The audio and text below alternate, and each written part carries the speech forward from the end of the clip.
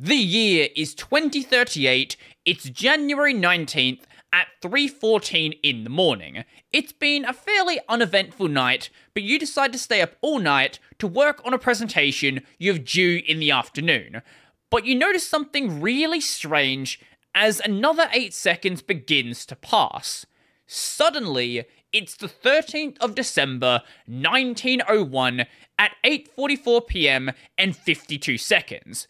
Clearly, something is amiss here, but it's not just on this system.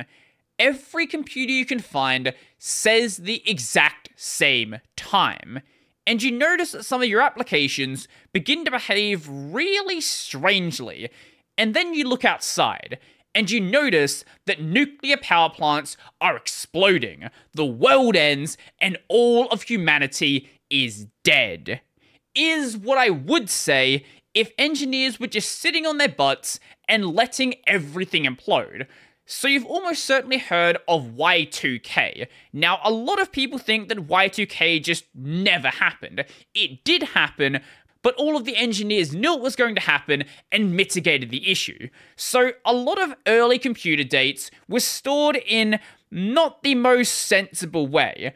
Rather than storing a year as a four digit number, they decide to only store the last two numbers. So, what do you think would happen if something relies on date sorting like uh, a mortgage payment or a car registration or basically any other sort of database when you go to the year 2000?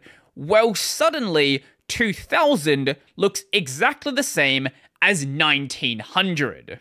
There were still some systems that were affected, but due to the mitigations put in place, like storing dates correctly, basically the issue was nowhere near as bad as it was hyped up to be. And this is a very similar issue to the year 2038 problem. So I just want to confirm something. Everybody knows that history started at January 1st, 1970. At least that's when it started in the context of computing. This is known as the Unix epoch of Unix time.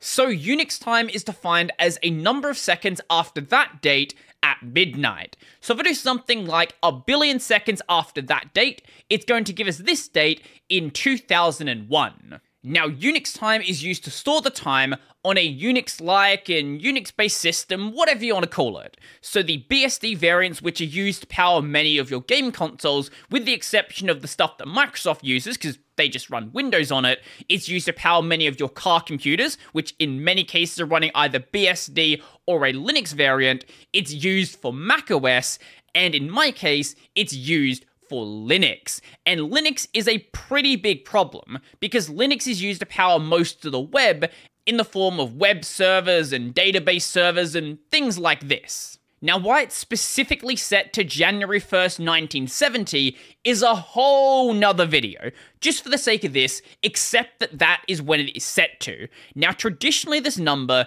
is stored as a signed 32 bit integer. Now, when we're talking about an unsigned 32 bit integer, that will store a number from 0 to 4,294,697,295.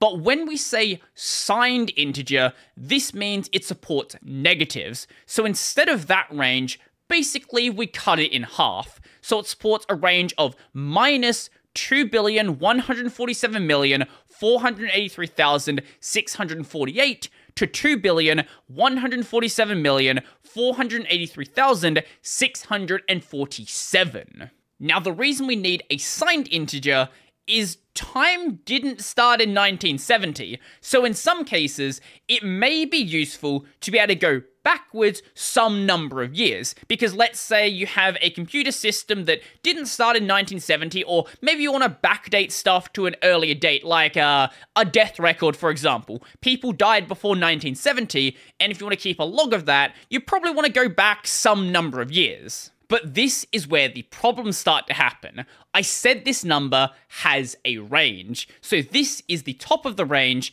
and this is going to be the bottom of the range. And you might notice those are the two dates I gave at the start.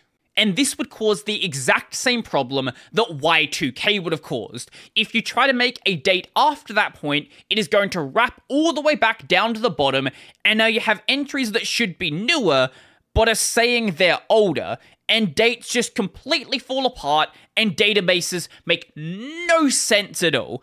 This is known as an integer overflow bug, and to understand why this can actually happen, we need to have a bit of a basic binary lesson. Now, binary is made up of ones and zeros, but ones and zeros don't inherently have value. The thing that gives them value is an encoding, a way to use them. Now, when we're talking about a 32 bit integer, it doesn't matter if it's signed or unsigned, this means you need 32 bits of data. So in this case, we have four blocks of 8 bits. Each of these numbers is a bit. The reason we break them down into blocks of 8 is 8 bits is a byte. And this is just an easy way to write them. And when you are reading a binary number, you start from the right hand side. When a bit is set to 0, that bit is worth 0. When a bit is set to 1, it is set to 2 to the power of that position, starting at 0. So we set the first number to 1. This is worth 2 to the power of 0, which is 1. The second position is 2 to the power of 1, worth 2. The next one is 4, and then 8, 16, 32, 64, 128, so on and so forth. Now, in an unsigned integer, all of the bits are handled the same way. In a signed integer, this leftmost bit is handled slightly differently. This represents the sign of the number, either positive or negative. But there's not just different ways to encode general binary, there are even different ways to encode an integer. So what you are seeing is two sets of ranges for three different encoding methods. So this is the range of signed magnitude. This is the top of the range, and this is the bottom of the range. This is also for a signed integer, and the bottom set is for one's complement and two's complement. Now, these methods do work slightly differently and have a slightly different human readable range, but when they're represented as binary, at least for these specific numbers, look exactly the same. Now, what do you think happens if you try to add 1 to a binary number that is already completely filled with 1s? Well, there's only one thing that can happen. You roll all the way back to the start and restart the number. And that's actually really obvious with sign magnitude. The only thing left to flip is the sign here, and then it's all ones and back to the bottom of the range. So, what is the solution then? It's not stopping the integer overflowing, it's just make the number bigger. So instead of using a 32-bit integer, we are now using a 64-bit signed integer. And that number looks like this. It is a lot bigger, and I'll show you how big a bit later. Now, for most users, this generally isn't an issue when it comes to your operating system or your CPU, because 64 bit versions of these have been available for a very long time. In some cases, you can't even run a 32 bit operating system like on macOS, for example. The main issues are on the software side, with software not being properly developed with 2038 in mind. And this is why there are still problems being patched this year. For example, MariaDB in 2038 wouldn't launch. For Python 2 with CPython, it wouldn't compile. Some tests in Memcache just weren't behaving correctly. Borg backups wouldn't work properly because date stamps just didn't line up like they should be, and then random rsync tests are also failing. Now, as you can see, a lot of these issues have been addressed, but some of them are still open, and this is only scratching the surface of the 2038 problems that still exist. A lot of major projects still have giant lists of these, and we are in the range. It's only 16 years until 2038. We are in the range where systems are going to be deployed today that are basically not going to be touched until past that year. Problems that still exist need to be fixed. If you're a developer who's just making some random application, do a test build past that time in 2038. If problems start to arise, please do address them. if you really don't think a system is going to be deployed and then not touched for 16 plus years, just keep in mind that until this year, Japan was still actively using floppy disks in their government. It is only now they are finally starting to phase this out. A lot of the time, if things work, it's just gonna keep going until it no longer works anymore. That's not just in government, that's in a lot of industries. Whether we're talking about manufacturing, banking, finance, aerospace, medical, defense, public transport, postal, telecoms, maritime, tax organizations, anything you can think of, there are going to be systems deployed that are going to have problems. And hopefully, those problems get detected before things actually become a problem. Or hopefully, a lot of the things they're already using have been patched and it's just not an issue.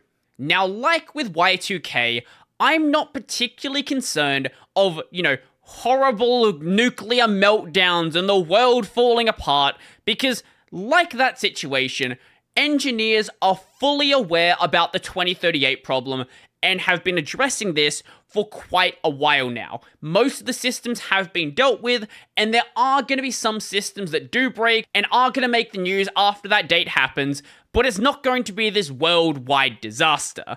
So let's redo that bit from the start of the video and demonstrate how big this range actually is. Because even with a 64-bit integer, the problem technically does still exist, it's just kind of a non-issue. So, the year is 292 billion 277 million 26,596. It is December 4th at 3:30 in the afternoon. Now, that date is about 22 times the estimated age of the universe. So, I think we might be fine. And if there are still any systems from today running at that point, maybe then we try out 128 bit numbers. So, are you worried about the 2038 problem, or are you in the same camp as me where basically you expect most things to be dealt with by then, but if you do see problems, you should still report them? I would love to know. So if you like this video, remember to go and like the video, and if you really like the video, and you want to become one of these amazing people over here, go check out my Patreon, subscribe, Scribestone, or Pay link in the description down below. I've got a podcast called Tech Over Tea. I've got a gaming channel called Brodie Robertson Plays. That's going to be it for me, and I'm out.